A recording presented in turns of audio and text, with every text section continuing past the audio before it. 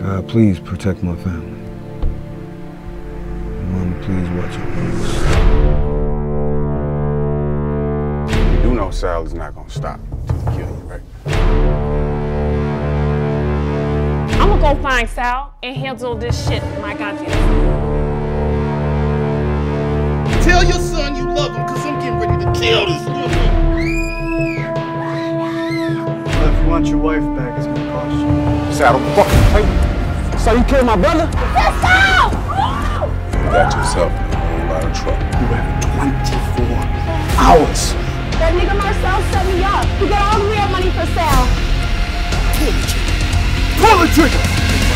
So you think he's the first person to ever want to kill me? He's not, and he damn sure won't be the last.